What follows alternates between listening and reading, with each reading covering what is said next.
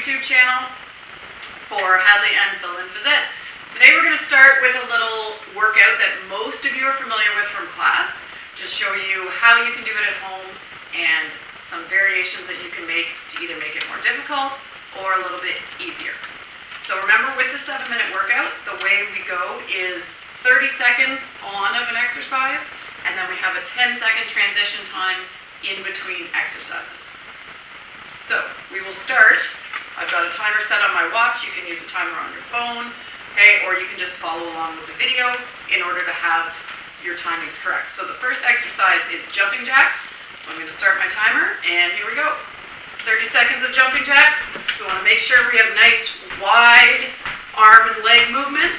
Okay, really warming up our whole body as we go through. Okay, we don't want any little chicken jacks. Okay, nice big arm movements.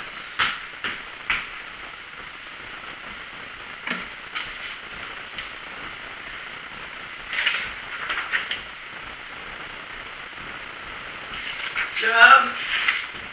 And that's 30 seconds. Okay, next thing we're going to do is wall sit. So we're going to find a flat surface. Okay, I've got my wall right here, and then we're going to go down into a nice wall sit. Okay, ideally we have a nice 90 degree angle at our hips and a 90 degree angle at our knees.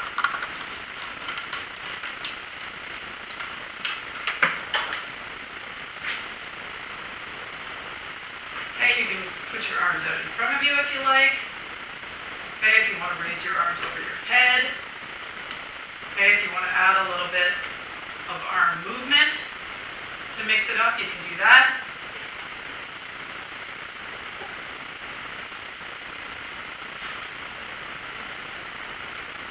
And good. Next one we're going to do is push-ups. Okay, so with our push-ups, again, if you can do full military push-ups on your toes and on your hands, that's awesome. Okay, if you want to start with those for as many as you can, and then you can drop to your knees, you can do that. Ready, and go. Okay, so ideally with our push-ups, we go down to 90 degrees and back up.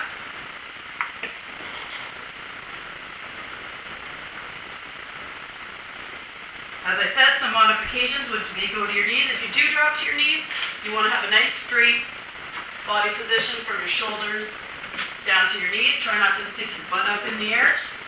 Okay, if you want more difficult, you can bring your arms in and do some tricep push-ups. Okay, or if you want to get really difficult, you can try some triangles. Okay, but 30 seconds of whatever type of push-up you can do. Okay, next one is crunches.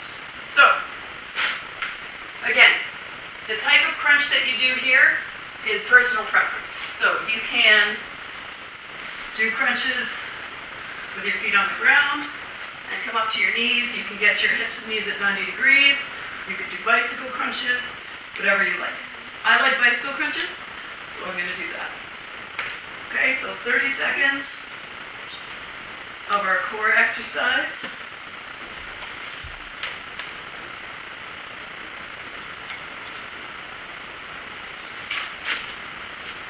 And again, with any ab exercise, we want to make sure our belly button is pushed into the floor, okay, so that we're not putting pressure on our back. Okay, you want to make sure you exhale through the exercise as you breathe. Good. The next one is a step up. Okay, so this requires that you have either a stair, so you can go to a staircase, I won't for the video's sake. Um, I've got a cube here that's a little bit higher, and I've got our hearth, okay, that's a little bit lower. So the idea of the step up is that you step up, drive a knee up, step down, and then come back down. So we're going to do that for 30 seconds. Ready? And go. Again, the higher you are, the more resistance, okay, and the lower you are, the less resistance. Okay, another variation you could do for step ups, okay, is to do quick feet. But But again, just an easy up, drive, down, down is good. And that's 30 seconds. Our next exercise is squat. Okay, so a couple little teaching points for squats. Whenever you're squatting, the first movement you want to make is to pop your hips and stick your butt back. Okay, and the idea is that you want to squat down and not have your knees go forward past your toes. Okay, so a nice squat motion for 30 seconds. If you bring your arms out in front of you, okay, that will counterbalance your body weight going backwards, okay, and help you keep from falling over and allow you that full range of motion in your squat.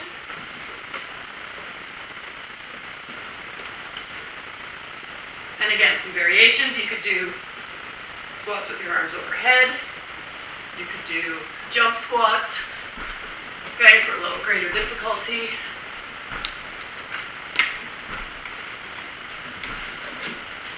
And make sure in that 10 second rest, if you need a water break, okay, have a water bottle with you, have a water bottle ready, and feel free to take a little bit of water at any point. Next exercise is our plank. So you can do forearm plank, or you can do full straight arm plank, whichever you prefer. And go. Okay, so again with our plank, you want to hold that nice tight body position. My kids are waving to me over here. So you can, again, continue to breathe. If you want to be on your forearms, that's fine as well. The key with this is that we want to have a straight, okay, not our bicycle stand position, like I like to tell you. Okay, a nice straight body position as we hold. Good. Next one is a more aerobic exercise. So if you've got a little bit more space, this one's a high knee run. So you can run and actually move, or you can just run in place. Okay, and we're going to go for 30 seconds. Ready? And go. So we're going to get our knees up. Good, making sure we're using our arms in opposition, just like you would be if we were actually running. Okay, get them up nice and high.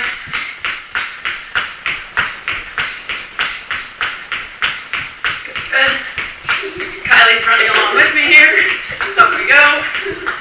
Three, two, one. Good. Okay, the next one we're going to do is tricep dips.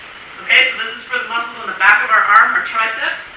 Okay, so we're going to find a chair, or again, you could do this one on a staircase.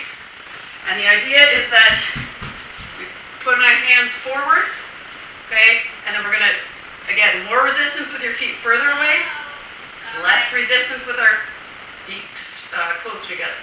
Okay, and we're going to go for 30 seconds. Okay, I can usually get about 20 of these done in 30 seconds. And you want to try to go down, okay, to about a 90 degree angle at your elbow. Good job, Kylie.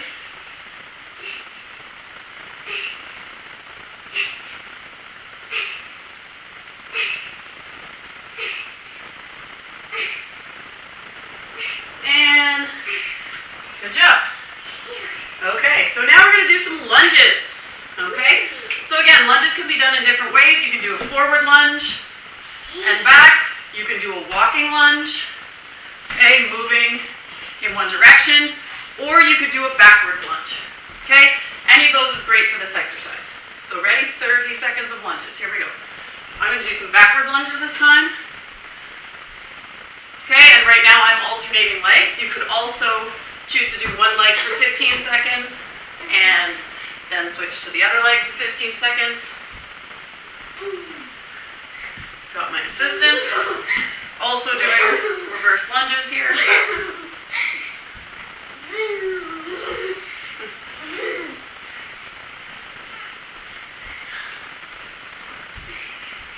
That's it. Good job. And rest. High five. Good work. Okay, so that was our lunges. We had jumping jacks, wall sits, push-ups, crunches, step-ups, squats, plank, dips, high knee run, lunges. We're gonna go side plank now. Okay, side plank. So this one, again, you can do it on your forearm or you can do it up on your hand. Okay, the idea is that we're up with our hips off the ground for 30 seconds. Here we go.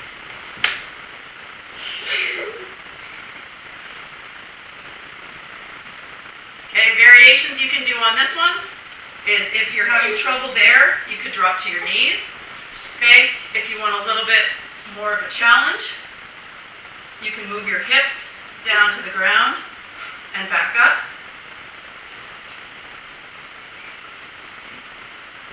And rest. Good. Now we're going to go to the other side.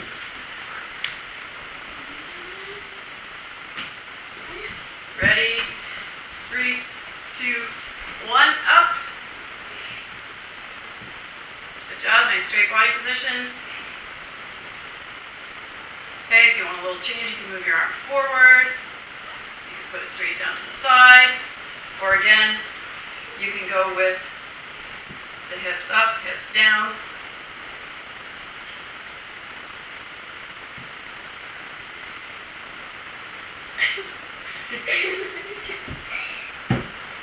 Three, two, and one. Great. One last exercise here and we're all finished. So the last exercise in our seven minute workout is going to be a push up and a rotation. Okay, so you're going to go down into your push up position. These are sometimes called sunrise push ups. Okay, so you're going to do a push up and then you're going to rotate into a one armed side plank. Ready? And go.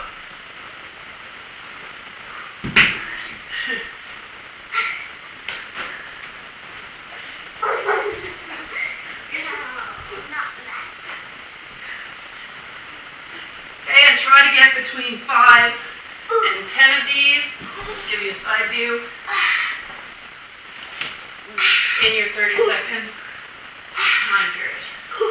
Again, if you want to do a knee push up to a side plank, okay, or a tricep push up to a side plank, okay, those will vary the difficulty. And there we have it. Okay, that's our first workout. Now, generally, if you want to really get a good burn out of this, you can repeat this workout two or three times in a row.